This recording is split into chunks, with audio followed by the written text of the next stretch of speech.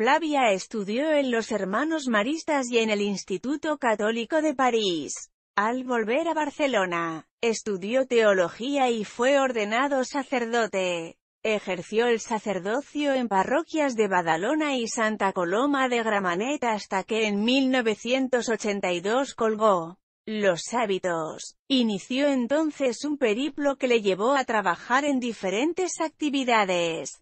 Desde empresario de salas y bares nocturnos a representante artístico de Gato Pérez, la Orquesta Platería y el actor Pepe Rubianes, con quien trabó una íntima amistad que marcó su futuro como actor ya tardío.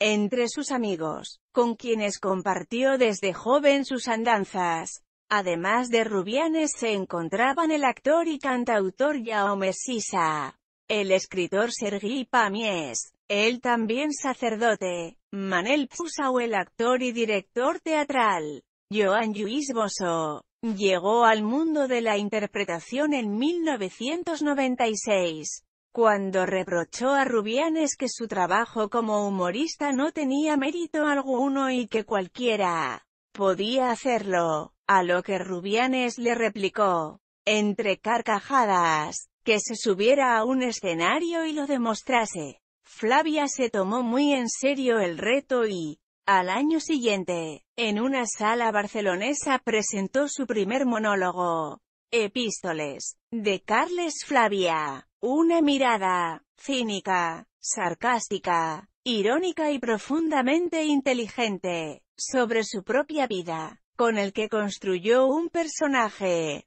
deslenguado, descreído, hiperbólico y aparentemente enfadado con el mundo pero de una vitalidad desbordante, del que se sirvió a lo largo de su carrera en otros monólogos como Pensamiento, El estado del malestar o el Evangelio según Flavia. Rafael Tapsunet lo calificó como maestro de la irreverencia anclada en una profunda comprensión del alma humana. Intervino en programas de televisión como Crónicas Marcianas, con Xavier Sarda, y El Club de la Comedia.